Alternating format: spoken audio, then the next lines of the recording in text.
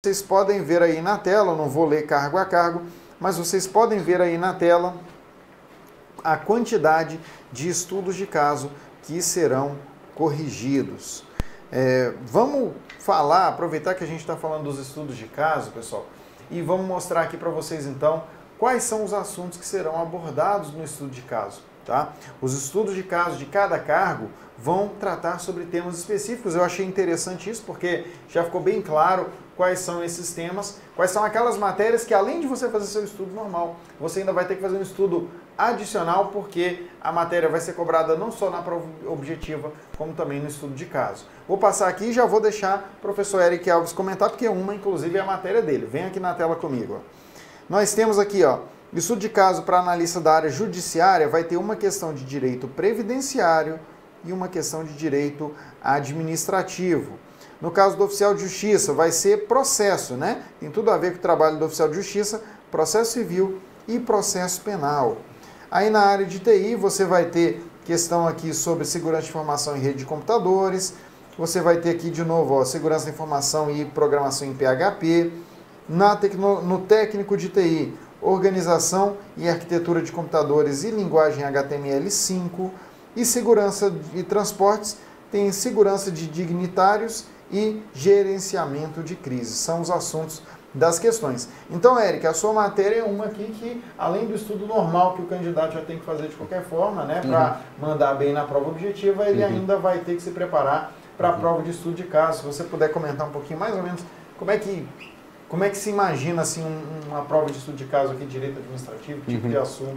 É, primeiro, só lembrando o que é o estudo de caso, né, que seria uma, eu gosto de falar que é uma redação prática, né, que ao invés de só simplesmente discorrer né, sobre um determinado assunto, você vai fazer uma análise sobre uma situação hipotética que reproduz né, algo que pode acontecer na prática e você vai dar uma solução para aquele problema. Né? A banca apresenta um problema, uma situação hipotética, você analisa e dá uma solução para ele com base na legislação.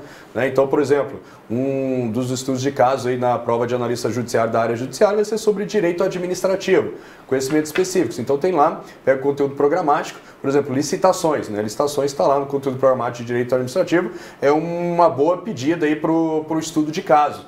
Né? Então, a banca ela pode ali é, criar uma situação hipotética de um determinado órgão fazendo uma licitação e aí o órgão ele tomou uma determinada decisão naquela licitação, fez é, um edital de uma determinada forma, né, o edital lá do, do, do, procedimento licitatório. Você vai analisar se aquelas decisões, se aqueles atos foram ou não praticados lá em conformidade com a lei é, 8.666, com a lei 10.520 ou com a lei do, do RDC, que também está previsto aí no, no edital.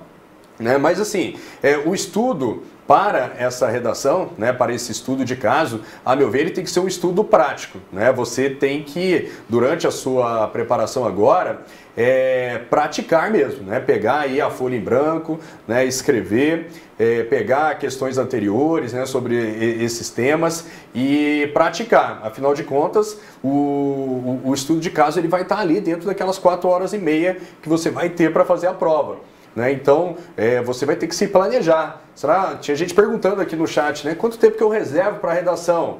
É, assim, eu sugiro, não sei, depois a gente pode falar aqui com o Bairão e com a Amanda é, o que, que eles acham, mas é, dessas quatro horas e meias, por exemplo, eu reservaria pelo menos uma hora e meia né, para fazer essa redação. Mas esse tempo pode ser muito para você ou pode ser pouco para você. Aí você tem que se conhecer. Tem gente que escreve mais rápido, tem gente que escreve mais devagar, né? Tem gente que tem mais facilidade para é, desenvolver um argumento, tem gente que demora mais um pouco. Então você tem que se conhecer durante agora aí essa fase de estudos, essa reta final até a prova, para poder já se planejar. Chega lá na hora da prova, é a primeira coisa que você faz, o, o examinador, né, ele deu a largada ali na hora da prova, você a primeira coisa que faz, vai lá, vê qual que é o tema da sua redação, né, já faz ali um brainstorming é, e depois volta para as provas objetivas né, e, e, quando você vai resolvendo as provas objetivas, pode ser que venha mais alguma ideia sobre aquele assunto da redação que você já sabe qual é, você vai lá e anota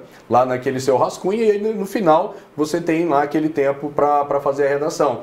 É, aí você tem que se conhecer, poxa, será que é duas horas para mim? Será que vai ser uma hora? Será que vai ser uma hora e meia? Então você pratica e vê o, o que, que você vai conduzir lá no dia da prova. Né? O que não pode deixar é, é para você descobrir isso só lá no dia da prova.